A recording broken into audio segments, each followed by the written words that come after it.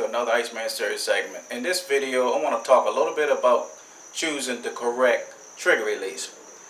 They have all types of trigger releases out on the market, from caliper to uh, tension pullers to uh, uh, hook releases to string hook releases. Just different type of.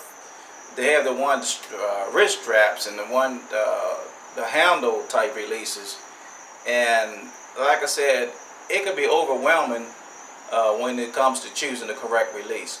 But me personally, I actually choose my release uh, because I wanted to make sure that it actually fits my total shooting style. What I mean by that is you can buy a release that's fixed. What I mean by fixed, there's no adjustments on the release. You can buy one that's too long. You can definitely buy one that's too short. But I personally recommend you buying a release that you can adjust. Because me personally, when I put on a release, I want to make sure that uh, when I draw back, I want to be stiff. And what I mean by stiff, I want to be right at my uh, true anchor point, which is I use the inside of my knuckle and it, it basically touches my earlobe and my, my left hand is extended to the fullest. Got a really slight bend in it, but it's extended to the fullest. And uh, what I want to talk about today is uh, the difference between uh, a hook release um, and a uh, caliper release.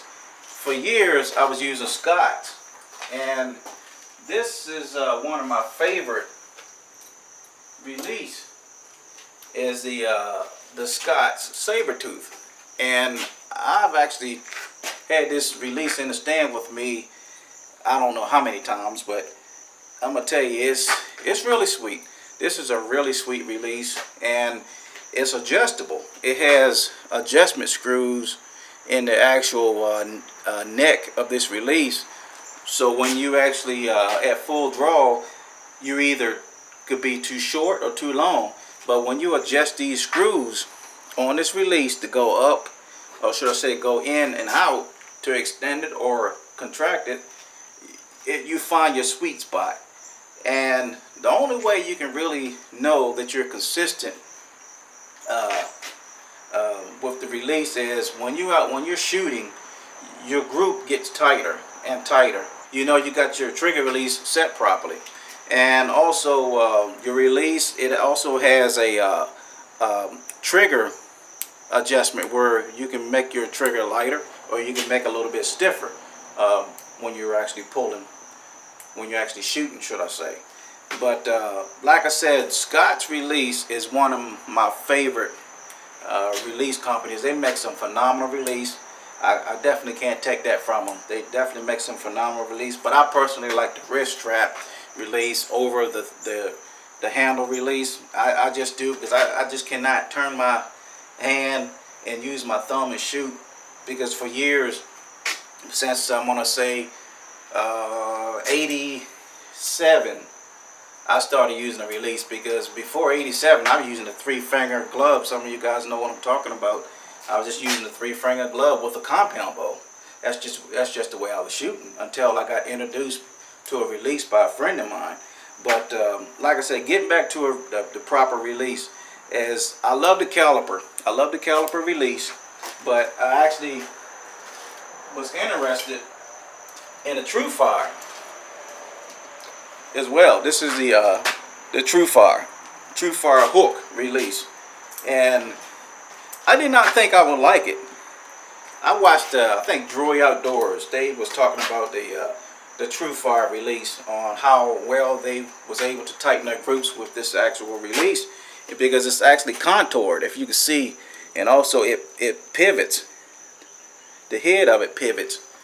So when you have full draw, it basically pivots and it it uh, actually sits in a in a in the spot, the correct spot, should I say, when you have full draw, when it when it head pivots, it sits in the correct spot for you to uh, when you release. It's supposed to go straight instead of go left, right, up, down, whatever the case may be. But I really like this release. The uh, the, the hardcore by TruFire and the hardcore 2 which is uh, it's not much difference in the hardcore 2 uh, than the uh, than the hardcore I, I don't really see a difference but um, I think the hook is just a tad bit different on a hardcore and a hardcore 2 I think the hardcore 2 hook bends back it extends out a little further that's the way it looks from looking at these release here, that's that's about it. But all the other features are the same on these uh, particular release here because the hook goes out a little further on a hardcore 2 than my hardcore. Uh, but like I said, when you adjust when you adjust your release properly, when you adjust the trigger and you you adjust the length of your release, and uh, let me demonstrate for you on what I'm talking about.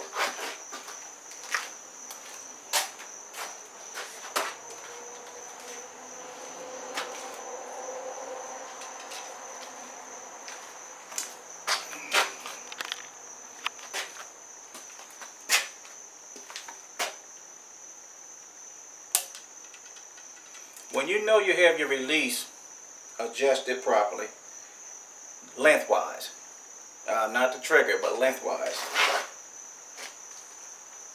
When you at full draw, and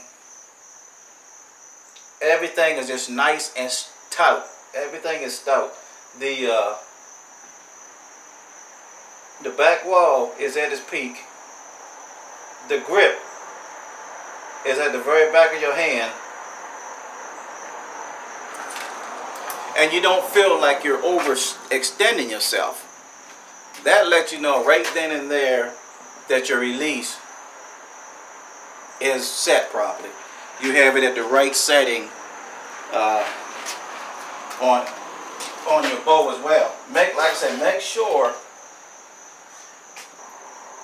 make sure you're shooting the right draw length as well. Always make sure you're shooting the right draw length. Some guys, the draw length is just too uh, is too long. Some guys draw length is too short. But if you're overextending yourself, even when your release is set properly, you still might have a bow that's too long. Or if you feel like you're just inconsistent, that would definitely make you inconsistent if when you at full draw, you, you can't get a good group, you something straining your shoulder, somewhere your neck is straining. But when you're at full draw, boom, you just stop and everything is tight. It's, it's tight into the pocket of your hand and everything is tight. Your shoulders is, is locked back. And some guys had a, the arm down. Uh, don't your your anchor when you when you at full draw, your arm should be at least like this when you're at full draw, and your neck and everything, your body. Let me let me demonstrate it again. Your body when you at full draw with your setup,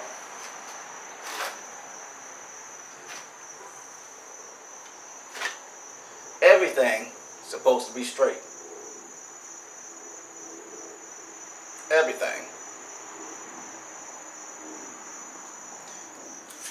I mean, I just think that you can miss deer a lot if you shoot and your head is down over to the side. I think when you when you bow hunting when you at full draw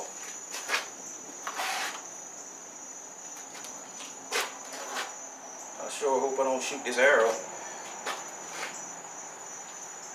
When you at full draw everything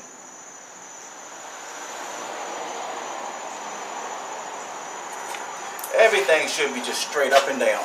You're supposed to be vertical. Your body should be vertical. Your head should be vertical.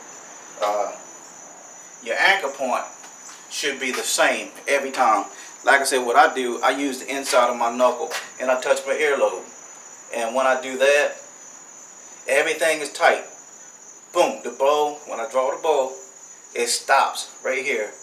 And my arm for the most part, is fully extended, except a small bend. But it's just no, it's just uh, uh, natural now to me because I, I do it so much. I've shot so much over the years where it just it's just automatic. I don't have to look at my arm and say, oh, don't forget to bend your arm. It's just it's just kind of it's kind of bent, but also I make sure my stance. I stand at like a five degree angle when I shoot. I don't I don't my body is not sideways.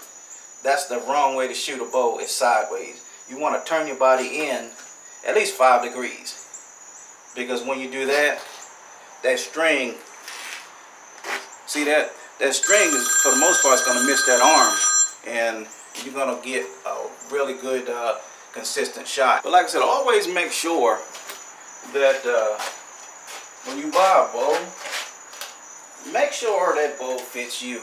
But like I said, my my Vertix versus uh, my VXR 28 is really not that much difference in the riser height. It's about an inch and a half. About an inch and a half difference in the height of this riser. But uh, like I said, just make sure, make sure you got that, uh, just make sure you got the right setup before you go in those woods.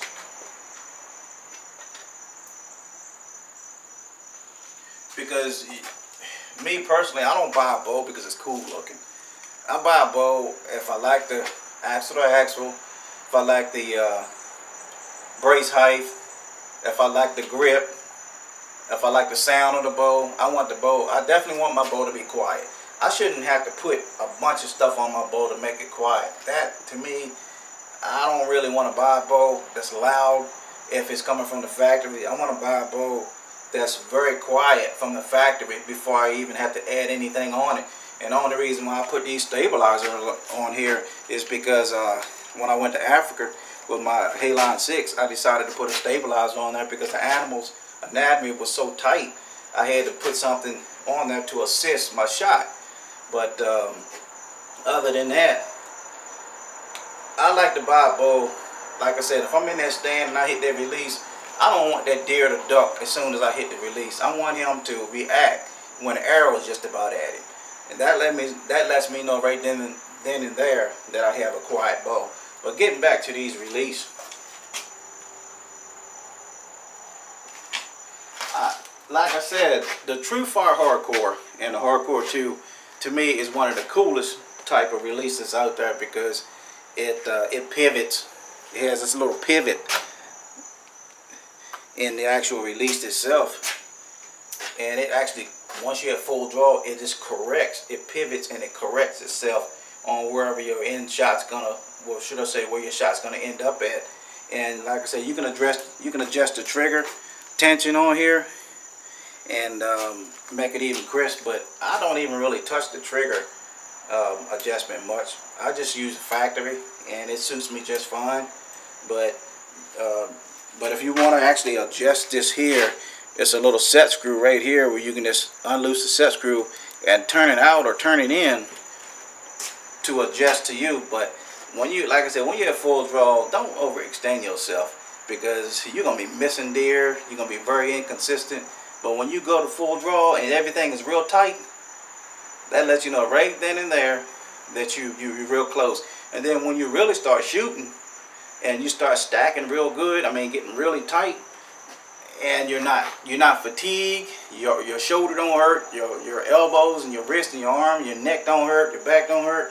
That lets you know that your stance is good. But don't be leaning back and shooting. Don't be leaning forward and shooting.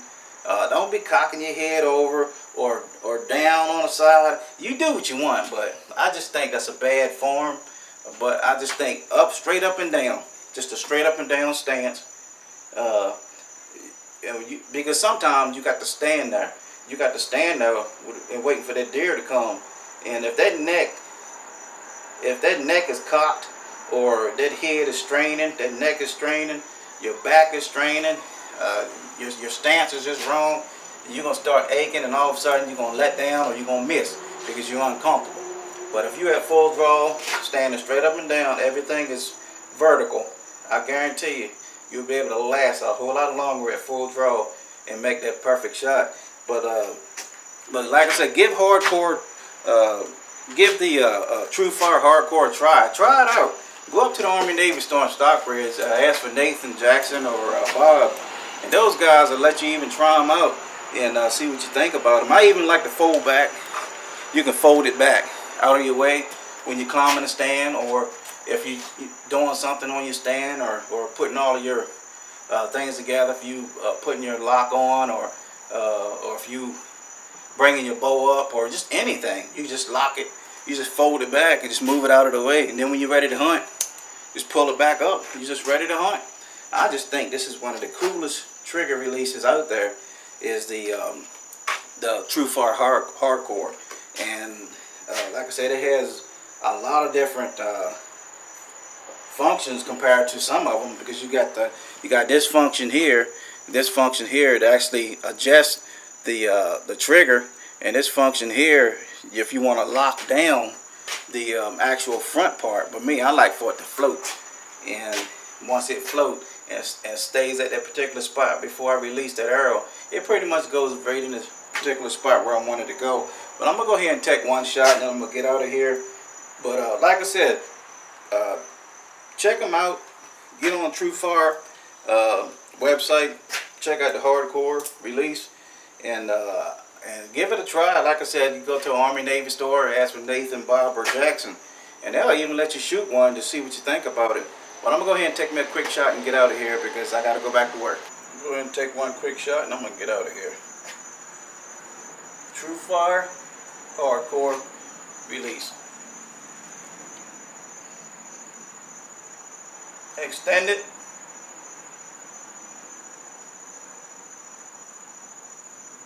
Back wall tight.